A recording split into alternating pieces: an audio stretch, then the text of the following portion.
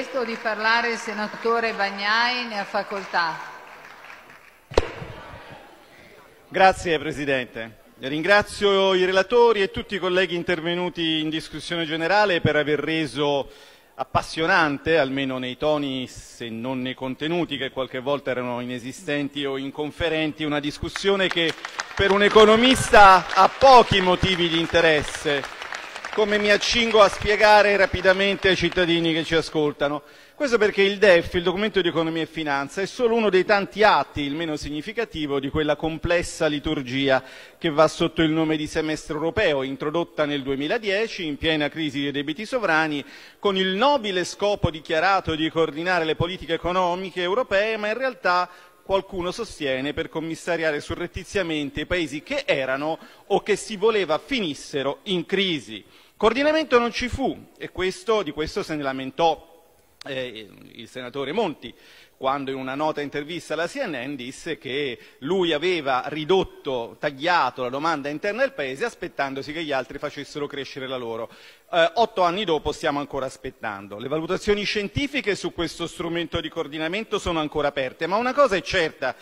Uno degli effetti del semestre europeo è quello di tenerci qui a discutere sul nulla o peggio ancora di costringere il dibattito sulla politica economica del Paese all'interno di un quadro di riferimento insensato, perché manifestamente fallimentare, quello delle politiche di austerità.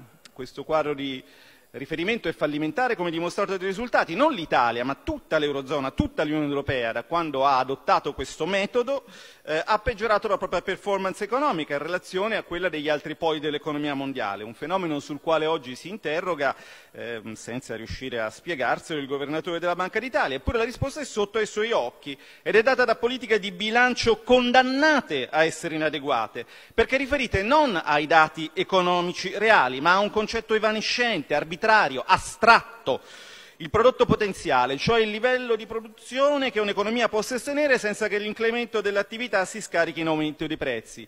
E l'insensatezza deriva da qui, per far contenta l'Unione Europea ogni Paese deve assicurare la Commissione di mantenere un tasso di disoccupazione sufficientemente alto, tale da evitare pressioni sui salari. Insomma, l'Unione Europea eh, ci chiede un cospicuo esercito industriale di riserva a garanzia del fatto che i lavoratori, dipendenti, professionisti, commercianti, piccoli imprenditori, non migliorino la loro posizione a scapito dei profitti e delle rendite finanziarie. Lo chiamano NAIRU, Non Accelerating Inflation Rate of Unemployment, cioè tasso di disoccupazione che non accelera l'inflazione. Ma una rosa con un altro nome avrebbe lo stesso profumo e lo stesso vale per un cadavere come questo tipo di eh, coordinamento economico.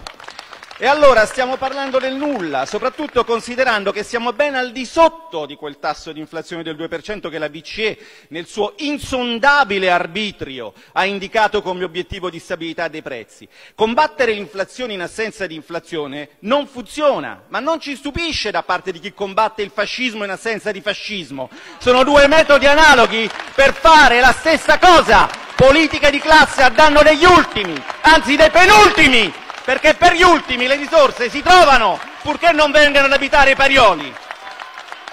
Noi abbiamo voluto invertire la rotta. Ci siamo riusciti? Questa è la domanda. La risposta l'abbiamo avuta dal relatore di minoranza, due parole tombali, fallimento e impotenza. Con queste parole il relatore ha liquidato la nostra esperienza. Motivo? L'ultima parte dell'anno precedente è stata caratterizzata da una recessione tecnica che noi saremmo evidentemente stati impotenti ad affrontare. E mentre abbattuto da questa sentenza definitiva, me ne tornavo verso il mio studio, sorpresa, esce un'agenzia della Reuters che certifica che nel eh, primo trimestre di quest'anno il Paese ha ricominciato a crescere, come ci ha detto poco fa il Ministro Tria. E così abbiamo capito perché il PD parlava di pillon, per non parlare di PIL, perché se avesse parlato di PIL avrebbe dovuto certificare che quanto stiamo facendo già sta avendo effetti. Allora, Ragioniamo un attimo sui numeri anziché su queste previsioni che un quadro di politica particolarmente artefatto ci costringe a produrre. Presidente, Presidente desidererei che il mio intervento pacato si svolgesse in un clima. Grazie. Allora forse a beneficio di, di, di chi ascolta bisognerebbe spiegare ai cittadini come stanno le cose.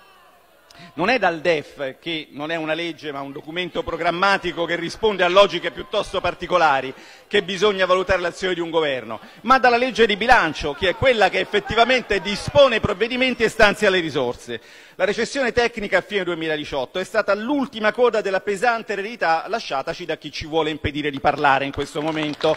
Poi è arrivata la nostra legge di bilancio e le cose in effetti sono cambiate. Sono cambiate, ci sono i numeri, ci sono i numeri. Ecco, allora, tanto per essere chiari, ragioniamo sulla produzione industriale, visto che noi siamo la seconda potenza manifatturiera europea. Sapete com'è andata da luglio ad oggi la produzione industriale dell'Unione Europea? Ha fatto un meno 0,5%, l'area euro un meno 1,2%, la Germania un meno 4%, la Francia 2,5%, l'Italia 0,4%. E sapete cosa è successo dall'inizio di quest'anno, cioè nei mesi di eh, gennaio e febbraio, l'Unione Europea ha fatto un 1,5, si sta riprendendo, la Germania ha fatto meno 0,6 e l'Italia ha fatto più 2,7. Questi sono i dati che ci dà Bloomberg e questi risultati non sono casuali, non, non, non è perché diciamo, abbiamo avuto fortuna, è perché abbiamo fatto delle cose di buon senso. Ve ne dico solo una, solo una lo sblocco degli avanzi delle amministrazioni pubbliche territoriali virtuose. Un mese fa, il 15 marzo scorso, il Sole 24 Ore non poteva fare a meno di rilevare che la spesa effettiva per appalti pubblici era aumentata in complesso del 15,8% nei primi due mesi dell'anno, con un incremento che nelle regioni raggiungeva addirittura l'84,9%. Inoltre erano anche aumentate le nuove gare, almeno quelle per opere di importo fino a 150.000 euro, dove noi abbiamo introdotto delle importanti semplificazioni normative. Ebbene, quelle erano aumentate dell'8,6%. Questi sono i risultati e non sono intenzioni, sono fatti e su questi vogliamo essere giudicati e saremo giudicati. Un governo che ha saputo impostare una manovra anticiclica efficace in una fase particolarmente complessa del ciclo economico mondiale merita la fiducia di questa maggioranza e avrà la fiducia dei cittadini. E per questo motivo dichiaro il voto favorevole del gruppo Lega Salvini Premier Sdaz al documento di economia e finanza di questo governo. Grazie Presidente.